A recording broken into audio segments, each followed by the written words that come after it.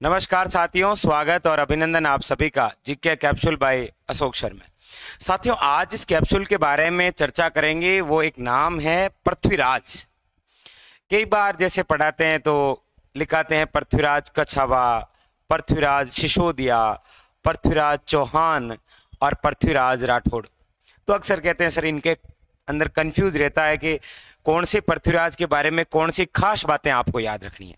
आइए कैप्सूल के माध्यम से शब्द दूर होगा। आइए, आज हमारा ये जो चैप्टर है, ये बिल्कुल वही है आपके। कि हमारे राजस्थान में जो पृथ्वीराज हुए हैं, वो कौन कौन से हैं और उनकी महत्वपूर्ण बातें क्या है, जो एग्जामिनर पूछता है। देखिए, सबसे पहले चर्चा करेंगे साथियों, पृथ्वीराज कछावा। कौन है? पृथ्वीराज कछावा। सबसे पहली बात याद रखिए, ये आमेर के शासक हैं। शासक बने थे पृथ्वीराज कछावा। इनकी खास बातें तीन ही है केवल। एक तो ये आमेर के शासक थे, एक ये सांगा की सहायता के लिए आए थे खानवा के युद्ध में 17 मार्च 1527 और उसी युद्ध में मारे गए।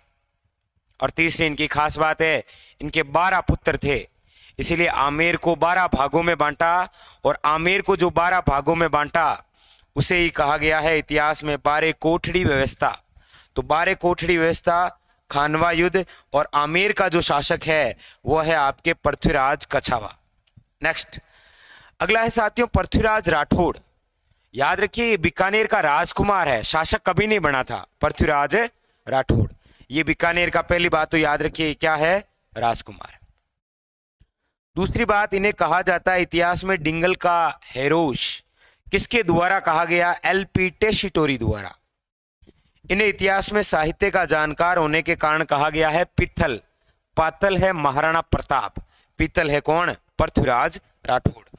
इसके अलावा अकबर के द्वारा इनको गागरोन की जागीर दी गई थी और उसी गागरोन के किले में रहते हुए वेली किशन रुक्मणी की रचना की थी, जो कि डिंगल भाषा के अंदर लिखा गया ग्रंथ है। और ये दुर्सा अड्डा ने इसे क्या कहा था? याद रखिएगा, पांचवा वेद, उन्नीसवां पुराण। और कर्नल जेम्स टोड ने इसी पुस्तक को क्या कहा था? दस हज़ार घोड़ों का बल। तो ये है बातें केवल पृथ्वीराज राठौड़। हाँ ये अकबर का दरबारी था। बीकानेर का राजकुमार, डिंगल का हेरूश, इतिहास में पिथल, गागरोन की जागीर और वेली किशन रुकमणिरी रचना। दो चीज़ें क्लियर दोनों पृथ्वीराज क्लियर हो गए। नेक्स्ट है आपके पृथ्वीराज सिसोदिया। ये भी मेवाड़ का राजकुमार है, याद रखिएगा। जिसे इतिहास में कहा गया है उडुआ राजकुमार, तेज धावक होने के कारण। इसके अलावा इन्होंने अपनी पत्नी ताराबाई के नाम पर, जो अजय मेरू दुर्ग था अजमेर में, उसी का नाम बदलकर क्या किया था, याद रखिएगा, तारागढ़।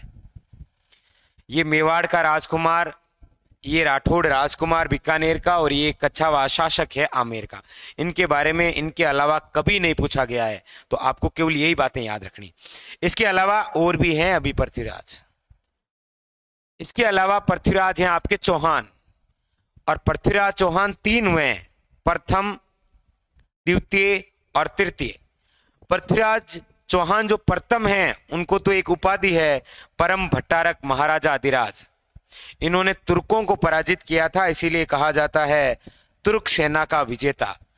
और पृथ्वीराज प्रथम के ही पुत्र थे अजयराज, जिन्होंने अजमेर बसाया था ग्यारह सौ तेरह ईस्वी में।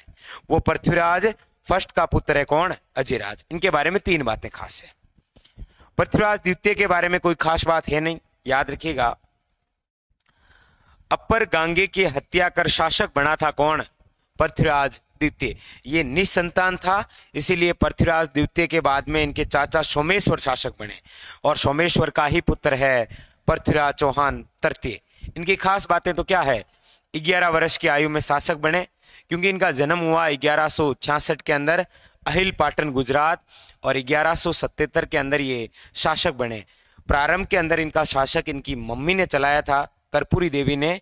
इतिहास में इन्हें दल पंगुल कहा गया, विश्व विजेता।